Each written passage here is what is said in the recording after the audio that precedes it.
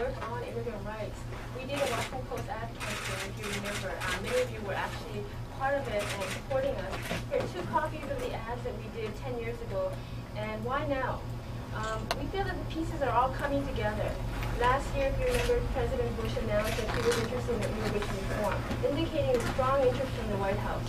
There's also 11 million undocumented in this country. This is not a group that we can hide away. This is not a group that should not have their rights addressed. Um, we have citizens who've been waiting decades for family members to arrive to the U.S. More than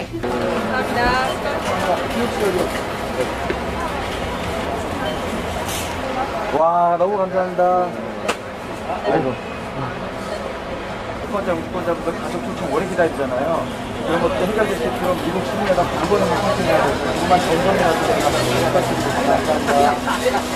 감사합니다, 선생님.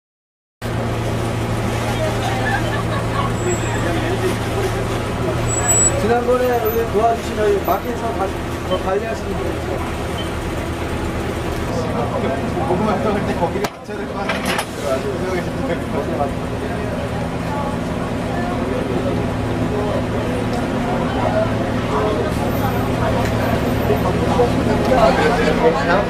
감사합니다.